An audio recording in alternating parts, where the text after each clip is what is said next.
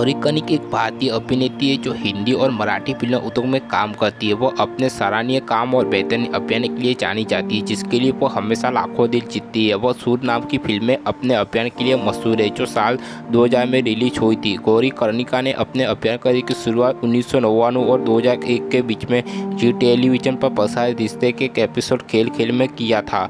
उनके अभियान श्रेय में कई हिंदी फ़िल्में शामिल है। सबसे प्रसिद्ध में से एक सूर है।